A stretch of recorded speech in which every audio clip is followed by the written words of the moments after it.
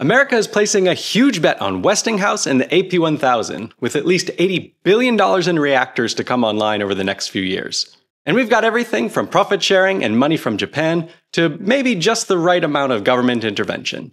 So let's get into it. The US government has signed a strategic partnership with Westinghouse's owners, Cameco and Brookfield Partners, to build at least $80 billion worth of reactors centered on the AP1000. And in return for this generous investment, the US gets 20% of all Westinghouse cash distributions above $17.5 billion.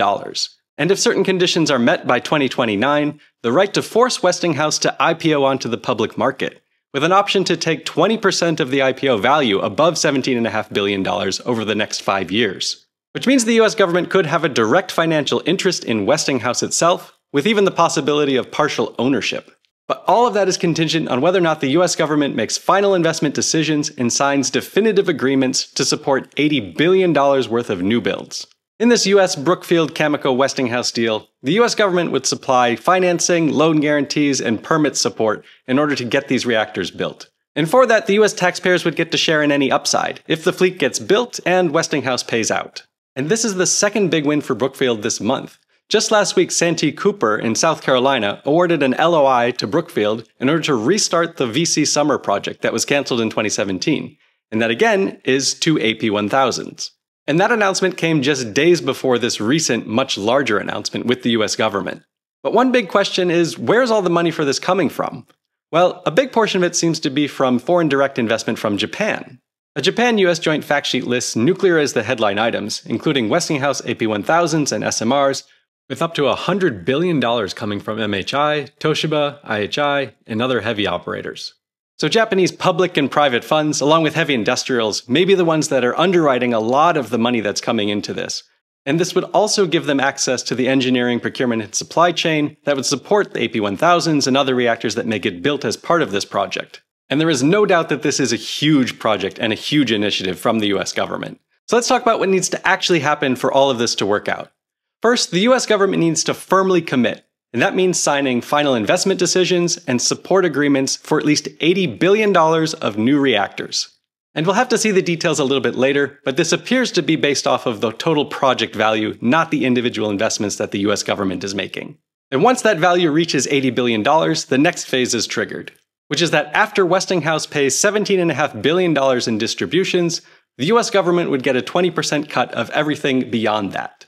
So think of this as dividends or cash returns to the owners that Westinghouse is already making to its owners like Cameco and Brookfield.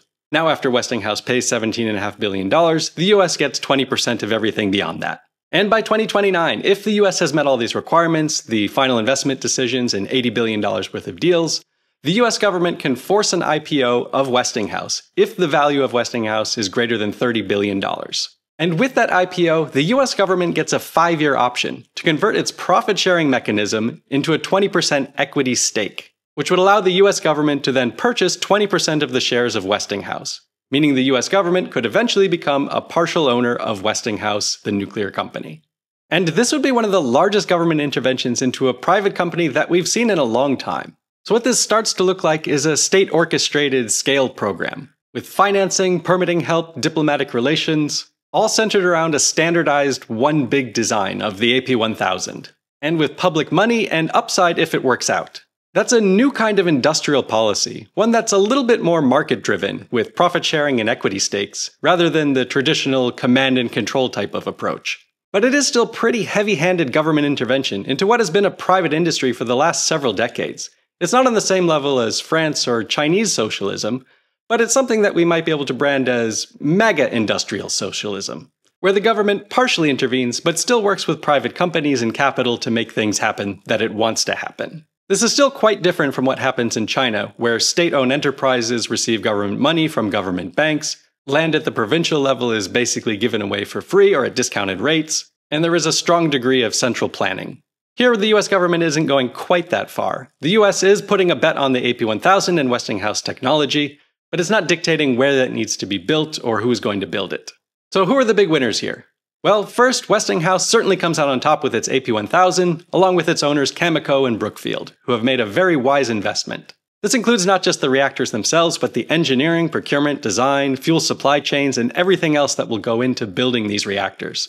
Next, Japanese financials and heavy industrials. Mitsubishi Heavy Industries, Toshiba, IHI for nuclear supply, Bechtel and Kiewit for engineering, procurement, and construction are all explicitly listed in the Japanese deal, with up to amounts in the billions of dollars, giving them all access to what is becoming a very large nuclear market within the US. Also, a big winner is likely Fermi America, head by Rick Perry, the former Secretary of Energy, which says it has plans to build four AP 1000s. They've already selected a site in Texas, named after Donald Trump nonetheless, and will certainly benefit from the additional financing and government support to get those reactors built.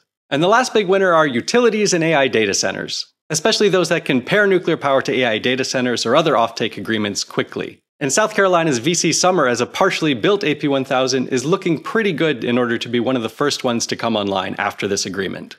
So things are looking very good if you're in the nuclear industry, but if you're over at the regulator at the NRC, things may be looking a little bit more pressured than they were before. Because now the US government has taken a financial interest in the success of these projects, and that includes not just the financing, but the permitting and approvals, which would come from the NRC. And although the NRC is technically independent from the rest of the government and does not answer to the president directly, we have seen that challenged recently with the dismissal of some of the commissioners and resignation of staff. So while it is too early to tell, we will have to keep an eye on what kind of political pressure, if any, gets pushed onto the NRC in order to approve these projects. And I've said it before, but a strong independent regulator is absolutely crucial for nuclear safety, so I expect that the NRC will continue to hold its ground. It's also interesting to see who is not mentioned in this announcement. All the big attention has gone to Westinghouse, but there's also some in there for SMR projects like GE's BWRX-300 and NuScale. But completely missing from this announcement are any of the advanced reactors like TerraPower, X-Energy, or Oklo or any of the reactors that are using HALEU fuel. All of the reactors and technologies that were selected in this announcement have some advanced degree of NRC review, use light water as the coolant, and use low enriched fuel. So the bet seems to be more on the proven design and the existing models that can be followed, not on new technology. And this is echoing something that I've been saying for a while now that we should be focusing most of our efforts on large light water reactors that have proven track records and known technologies. SMRs and advanced reactors certainly have their place, but it's a little bit more niche into the specific application that they need to be used for. Large reactors like the AP1000 already have several reference plants, and we can build out the supply chains as long as the demand is there. There are many fewer unknown unknowns with this technology compared to advanced reactors that haven't been built in decades, if at all. So, is this new kind of MAGA industrial socialism the way to go and get the nuclear energy industry in the US moving again? Uh, let me know in the comments. And thanks for watching. I'll see you in the next one.